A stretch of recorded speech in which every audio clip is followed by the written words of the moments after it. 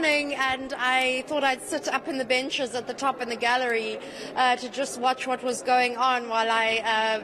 Uh, uh, while I waited for Malusi Gigaba to make his presentation before the uh, Home Affairs Portfolio Committee, and I was quite taken aback as to uh, what actually was unfolding uh, right below me. It seemed as if the EFF uh, had started uh, with a little bit of antagonism, showing the oh, what seemed like an old Nokia or a, a, certainly not a smartphone to the Home Affairs Minister Malusi Gigaba and saying that the President should give more of these sort of phones uh, to stop his cabinet from being embarrass embarrassing themselves.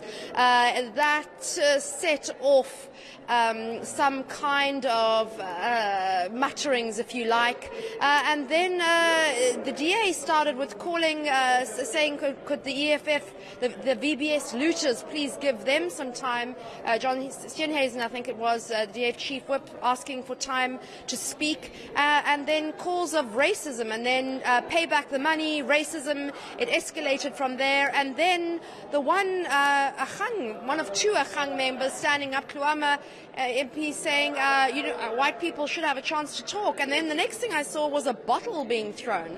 I can't tell you who threw that bottle, um, but it did result. Uh, would seem a lot of pulling and tugging, and perhaps a punch or two being thrown.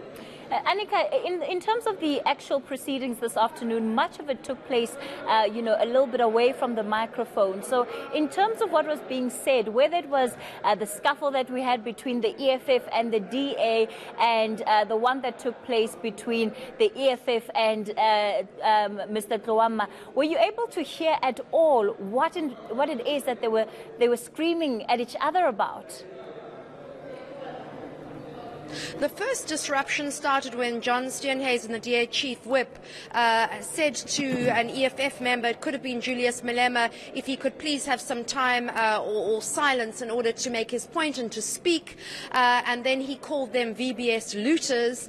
Uh, the EFF responded, I think, by saying, um, you know, you are racists. Then the DA started chanting, pay back the money.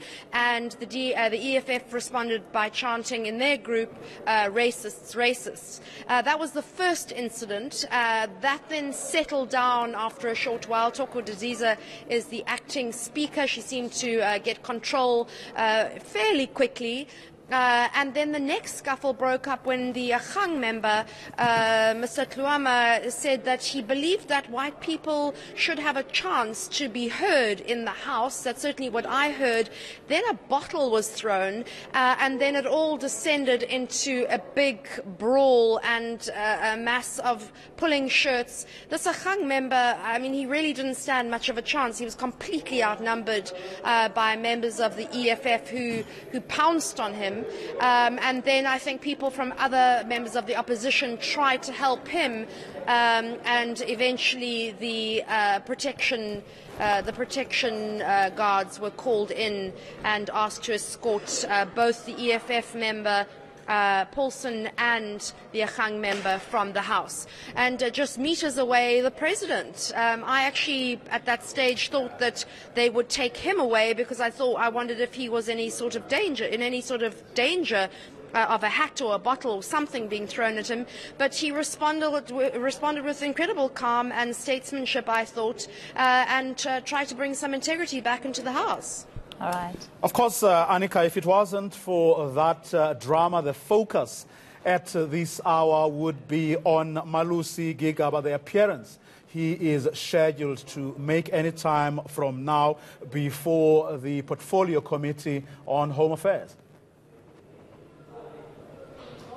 That's right. I mean, when the uh, jibe was made at him about the smartphones, he didn't laugh. He didn't think it was funny at all. And throughout the uh, throughout the sitting, he was uh, jerking his leg up and down uh, with nerves, or it seemed with anxiety. Um, but as soon as the scuffles broke out, he seemed to relax a little bit more because uh, clearly the, the, focus was off him. Um, but it's been a long day for him. He sat here at the portfolio committee uh, from nine o'clock this morning, dealing with the civil union bill, uh, and he will be back here now uh, before uh, there's one more issue, item on the agenda that the Home Affairs Portfolio Committee is going to deal with, and then he will be questioned again about the Fireblade aviation issue. Remember last week that the director of Fireblade, uh, Nikki Oppenheimer, accused him of lying to this particular committee, uh, and as uh, Malusi Gigaba's uh, spokespeople have said, it wasn't an actual act of perjury, that's a criminal act. He hasn't been charged with perjury, uh, but he was accused of lying under oath deliberately. All right, Annika, let's leave it there with you for now. And of course, that session is expected to get underway uh, any time now.